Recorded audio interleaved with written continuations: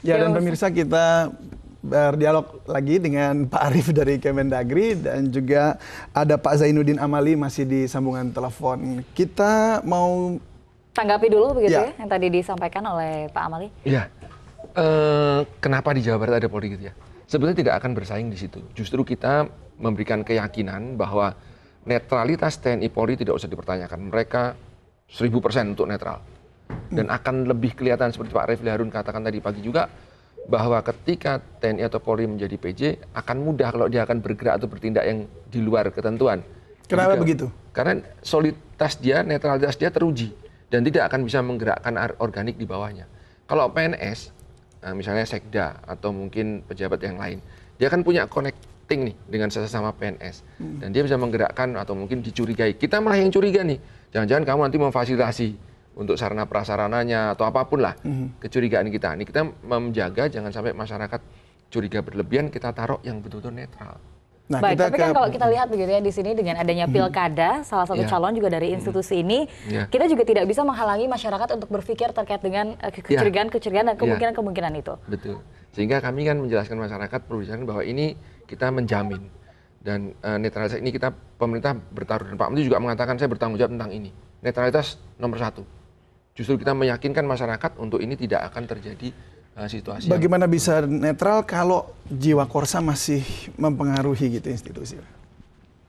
Jiwa korsa bahwa institusi sana kemudian berpihak pada ini, dia hmm. akan net, uh, jiwa korsa dari mana? Dia nggak akan bisa memfasilitasi hal itu karena ASN di bawahnya tentu tidak akan semudah itu untuk memberikan pelayanan kepada PJ berkaitan untuk netralitas. Karena Kenapa tidak mudah? Ya karena kan netralitas terjaga seberapa besar uh, porsi terkait dengan ya yang diberikan artinya.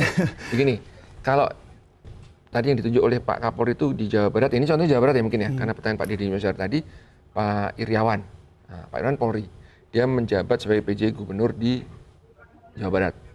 Anak buahnya kan ASN nih sama-sama untuk menjaga netralitas kita tunjukkan bahwa komitmen kita yang netral siapa nih? Yang siapa yang paling netral kan itu.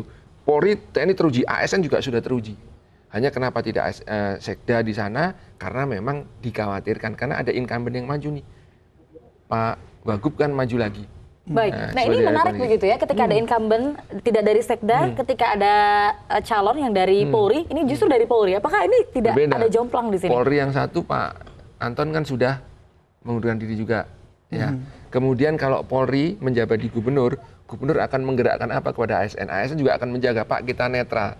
Dan ketika pergerakan seorang anggota TNI Polri yang menjadi PJ akan berbuat mendukung salah satu, pasti akan kelihatan sekali. Okay. Karena di sorotan masyarakat. Pak Arief, kita coba hmm. uh, ke Pak Zainuddin lagi nih. Pak Boleh. Zainuddin, uh, apa tanggapan Anda?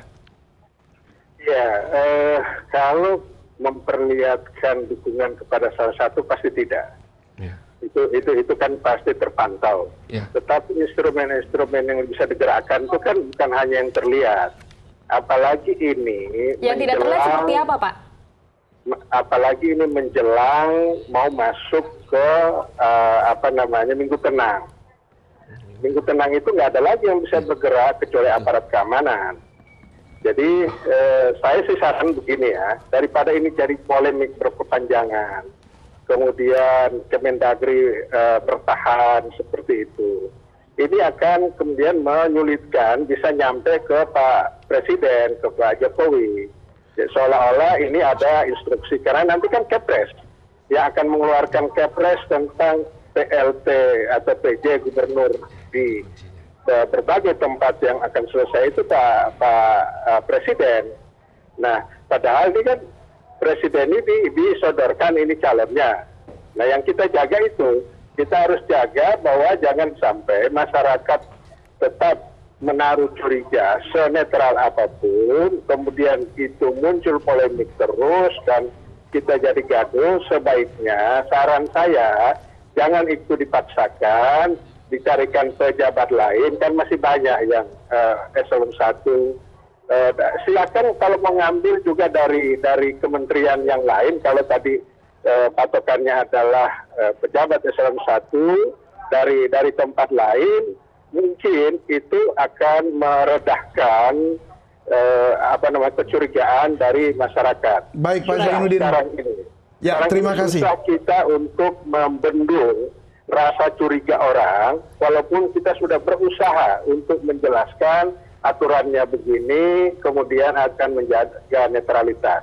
Tolong itu ya, kami sudah tangkap maksud Anda. Terima kasih Pak Zainuddin. Kita tunggu kepresnya begitu ya. Ya. Nah jika dilihat begitu tadi tanggapan Betul. eselon 1 banyak, kenapa ya. tidak diambil dari eselon 1 dan juga institusi lainnya? Uh, sudah kami sampaikan di awal tadi bahwa Pak Menteri bersurat kepada kementerian lembaga karena memang di aturannya di undang-undangnya jelas bisa dijabat oleh pejabat uh, madya yaitu eselon 1 Baik.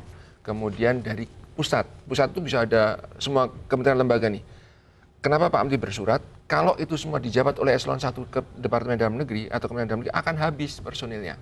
Dan di kami juga saat ini Kementerian Dalam Negeri masih beberapa PLT eselon satunya. Jadi banyak tapi tidak tersedia begitu ya? Ya, karena masih ada PLT. Kalau PLT kan nggak boleh harus definitif eselon 1. Mm-hmm. Eselon 1 kan terbatas untuk Pak Dirjen Oda juga bertugas mengawal pilkada, jadi nggak bisa ditugaskan. Jadi solusi permasalahan ini menurut Anda? Sebenarnya ada masalah, clear. Hanya memang ada kecurigaan itu. Sedangkan yang saya ulang lagi, sedangkan untuk menentukan sesuai dengan Pak Zainal tadi bahwa untuk menentukan PJ Gubernur adalah kepres yang ditentukan oleh Presiden nanti. Ini ada usulan dari Polri atas permintaan hmm. Mendagri. Nanti akan dibahas di kepres tuh di, di TPA Presiden melalui Pak Menko Polhukam misalnya dibahas nih mana-mana pejabat yang berkomitmen dan memang mampu untuk di situ. Sebenarnya masyarakat nggak perlu resah dan nggak perlu gundah. Kami pemerintah Baik. menjaga keyakinan dan menjaga netralitas penuhnya. Baik, Dan nanti keputusan daripada presiden pada saat uh, eh, TPA nanti. Ini kan baru hmm. usulan. Dan banyak mungkin nanti insan lain yang memberikan nama juga kepada kita. Oke. Okay. Baik, kita tunggu ya. begitu ya untuk nama-nama yang diberikan nanti. Gak ada masalah. Mas. Terima kasih Pak Arif ya. sudah berbagi bersama kami di News Sore.